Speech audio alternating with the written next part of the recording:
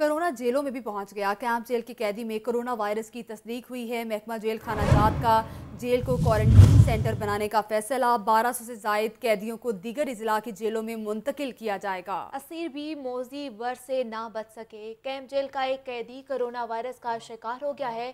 قیدی تین بیرکس میں مختلف نوعیت کے پانچ سو قیدیوں کے ساتھ رہا ہے۔ اسی صورتحال کو مد نظر رکھتے ہوئے جیل انتظامیہ نے کیمپ جیل کو کرنٹینہ سینٹر بنانے کا فیصلہ کیا ہے۔ محکمہ صحت نے قیدیوں کو کرنٹائن کرنے کے لیے جیل میں جگہ مخصوص کر دی ہے۔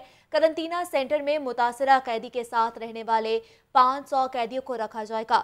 دوسری طرف جیل انتظامیہ نے بارہ سو سے زائد قیدیوں کو دیگر اضلاع کی جیلوں میں منتقل کرنا شروع کر دیا ہے۔